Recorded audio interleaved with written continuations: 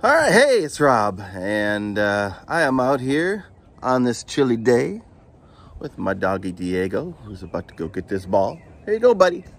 And uh, Diego and I are out here to talk to you today about an important topic that I should have made a video about a long time ago. These are simply the names of the positions on a production sound department. Uh, believe it or not, it would seem kind of simple. You would think most people would know the basic jobs on the basic departments, especially if you are a director, you are a producer, you are trying to hire people like me. I'm a production sound mixer, and you're putting an ad on you know, one of the uh, services out there where people find jobs, staff me up, Mandy, that sort of thing, or even on Facebook, etc. We'll just assume this is a low budget production. You don't really have a lot of money, you haven't had a lot of experience, and you need somebody to do sound on your production. Now, I see so many people asking for things that don't exist, using the improper terms, saying things that are confusing, incorrect, could possibly get you the wrong kind of person who would show up and say, you didn't ask for that. You asked for one of these. And that's what I am. So we're going to get this out of the way right now. If you are a person having uh, a production going on soon that is in need of a sound professional, what you need is a sound mixer. That's it. That's what I do. You need a sound mixer. Now, maybe the term uh, was uh, more appropriate back in the day when we recorded on tape. Not this kind of tape, but uh, we used to record on a device called a Nagra. That was the standard for many, many, many years, 30, 40 years. The standard was a Nagra, which was a portable battery powered at most two channel tape recorder, stereo, left and right. That was it. So you really were a sound mixer because you could still be mixing multiple sources. You could have eight actors. They could all be wearing wireless microphones. You could have two boom operators. And on the bigger shows, you often do. You often will do a second boom. It's just too challenging the way they shoot things now to have one person operate the boom. And uh, you may need a second one. So you could have 10 audio sources, but back then, like I said, the most you had was two channels. I did most of my, matter of fact, I did all of my career back then before we switched to what we use now, which is our file-based recorders that record on cards. I did all my work uh, basically on a one-channel Nagra. That's it, one channel. So I really was a sound mixer back then because I had to mix as many sources as I had, which, like I said, could be eight people and two boom ops. You would have 10 audio sources coming into a mixing board. And uh, you would mix them all down to one track. Now, what happened if person number six, the battery died on their wireless microphone pack or whatever? Well, you'd have to live with it because there would be no way really to separate out any of the audio. You gave them one track. It was mixed, hence you are a sound mixer. And that was that. That's all they got. Now, of course, today things are a lot different. And this is what I show up with when I work. This is my audio bag. And uh, this is actually a uh, integrated uh, eight, although I think it can be even expanded to more now. Eight channel file based recorder, which records um, a two channel stereo mix of everything. Does that automatically from my settings on the mixer. And uh, I can record, like I said, eight different people talking at the same time who all have individual microphones on them, etc., etc. So, much different deal here. Records to a, you know, to a hard drive in there and records to two different SD cards uh, just for backup. Two of them can be set to record different types of files or the same files or whatever, but basically there. So you have got a backup in case one of them gets corrupted. These are the wireless mic receivers on top. I'm not going to go too much into the specifics, just to let you know what we mean when we talk about a sound mixer. And what types of things they would be expected to bring to your production. Now, if I'm working on a reality show, you may also hear this one, bag mixer. And the bag is just what I showed you. It's an actual bag with the recording equipment in it. So you may see the term bag mixer. That's only specifically for uh, reality shows and larger reality shows. Like I have America's Got Talent Extreme, which I worked on, coming out next week. And uh, I was a bag mixer on that show. Matter of fact, it wasn't even my own bag. On reality shows, a lot of times they will rent the equipment and you will just operate it. In any case, I'm sure when they hired me, they said they want a sound mixer or they said they want a, probably a bag mixer is more likely what they said, but I know what those two things are. They're pretty much interchangeable. Um, another thing you see that I've crossed out on here, we need an audio assistant. No, you don't. That's not what you're looking for. If you're looking for one person to record the audio on your short film or your YouTube proof of concept or your whatever, indie commercial or, some bigger project, whatever it is.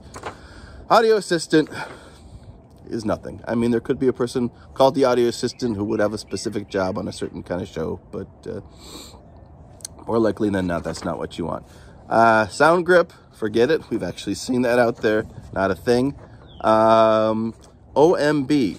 OMB means one-man band. That means if I hire a sound mixer, I also expect them to be the boom operator. That's fairly common on small shows.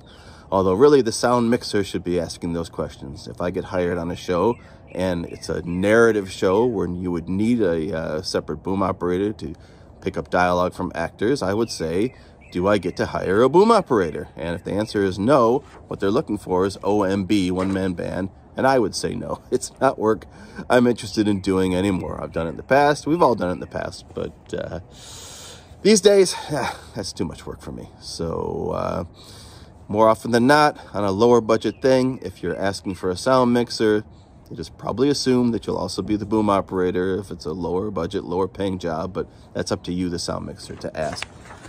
Uh, finally, A1 and A2 on this sheet. That's a specific thing that would also be for a large production, like a stage type of show, uh, American Gladiator, or something where it's self-contained and large, a lot of moving pieces. And A1 would be a person who's operating a giant recording console, taking in all the signals, recording them to different devices, sending them to different places, etc., etc. And you can have someone who does that, like a master control board.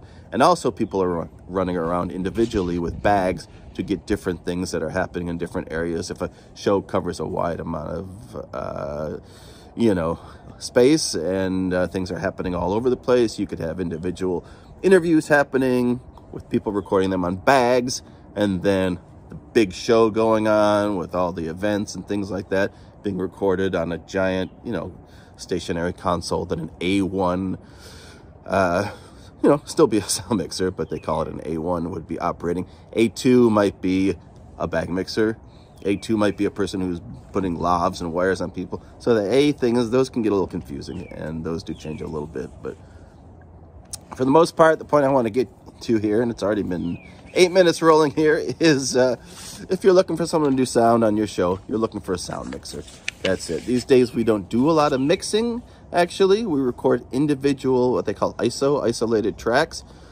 So if I have four actors, each actor is going to be on track one, two, three, four, isolated, totally separate. And then if something happens and a battery dies, the whole thing isn't ruined. You just lost one of the four tracks. You'll still have to redo it anyway, but uh, you'll have all the other tracks will still be safe because they'll all be individually recorded as different files on your recorder. But uh, be that as it may, we're still called sound mixers.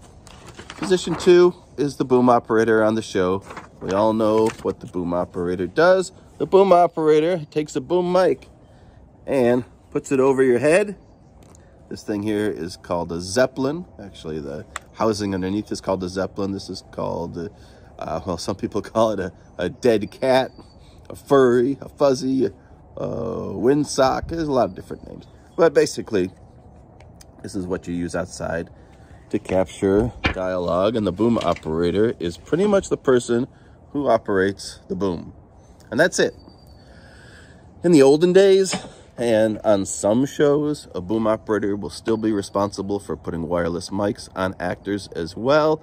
We've kind of gotten away from that because uh, it's just too much work to be the boom, the boom operator these days. Like I said, sometimes you need a second boom operator. Sometimes you need four people on a sound department because you need a dedicated second person who can, uh, you know, jump in and be the boom operator, the backup boom operator, the additional boom operator, I should say while the other person is responsible for putting wireless mics on the actors. In any case, if you want a second person on your sound team, it's going to be a boom operator if they are operating the boom. Simple enough. A lot of ads you will see, people will say, I need, sorry, I'm throwing the ball again. A lot of ads people will say, I need a boom operator. And uh, what they think they're asking for is, in fact, where's my sign? What they think they're asking for, in fact, is what they really need a sound mixer, but they'll call it a boom operator. And again, they don't need a boom operator because a boom operator is not a person who normally brings the equipment to the set. So you get hired as a boom operator and you show up with your boom and they're like, where is your recorder? They didn't understand what the term boom operator meant. That's on them. But again, people, you know, get confused between the different terms in the sound department. In any case, first thing you want to ask for is a sound mixer. The sound mixer will probably ask, do I get a boom operator? And those are the two jobs, the two names. No other names should be used. And if they are, like I said, a lot of times, uh, you'll be using it, you know, incorrectly. You'll say you need a boom op, but you really need a sound mixer. Number three, and these are on bigger productions, feature films, you know, uh, TV series that are on major networks. Uh, oh, wrong one. Um, you will get number three, which is the utility position. Utility sound. Utility sound technician. The utility is not an entry-level position, which is why it's hard to work in the production sound department of a feature film or TV show because there really is no entry-level position anymore. Utility is a highly skilled position like the other two positions, and their job has become, among many other things that a utility sound person will do, but their job has become putting these kind of wireless packs on actors so they can catch their dialogue no matter where they are and what they're doing and how the camera is shooting the show. And uh, the uh, amount of work you sometimes need to do that to deal with challenging wardrobes, tight fitting outfits, you know, uh, rustling clothes. I mean, there's, you know, you go into whole science on that, and I'm not doing that in this video. Anyway, suffice to say, your utility sound technician is the person who's going to be wiring up the actors. After they wire up the actors, they may come in and be the second boom operator, the, you know, additional boom operator, but main responsibility like I said, among many other things, among dealing with the equipment, dealing with the paperwork. Sometimes is doing errands for the sound mixer, picking up batteries or, you know, a hundred different things. Charging batteries, you know, at, at the uh, sound cart. A lot of times they have their own sound cart, which is called a follow cart, which is just what the utility sound is responsible for. But for the purposes of this video, we'll say the third person is basically the person who just wires up the actors. Why do you need a separate person? Because sometimes they're in their trailer hundreds of feet away from where the action is. And the boom operator needs to be planted on the set these days because things change really fast. They decide to add a camera, they decide to point something in a different direction, they decide to add an actor move marks. I mean, any kind of thing could happen. And if I'm a boom operator, which I also work as a boom operator, and I'm off in the trailers, you know, putting wireless microphones on people, I'll have no idea what's happened on the set. I'll end up having to rush back to the set the last minute, throw the boom in the air, and then find out I'm in the shot. I didn't understand something, something has changed. So uh, it's gotten to the point where, you know, like I said, on bigger TV shows, feature films, like those sorts of things, um, there's no way a boom operator can really be freed up from the set to go do anything else. They have to just be planted there the whole time. At least sitting observing, if not rehearsing as they're rehearsing uh, to do the shot. Uh, finally, as a term of respect, don't call us a soundy. Just like you really shouldn't say, and I'm guilty of saying crafty. Uh, scripty. I don't know that I say that, but other people do. It's kind of a demeaning term for people who are serious about their craft, you know, and uh, it's just, you know, let's have some respect for professionals that work on these shows. And don't call a person whose job it is to make sure that everything, you know, from the, the uh, glasses that are on the set that should be filled two inches to the top, to which way someone's hair was combed and that kind of stuff. Don't call that person scripty. They're a script supervisor. All right, so those are the different jobs on the uh, film set, especially pertaining to sound mixers, boom operators, and sound utilities. Just use the right term and you'll get the right person. All right, peace out.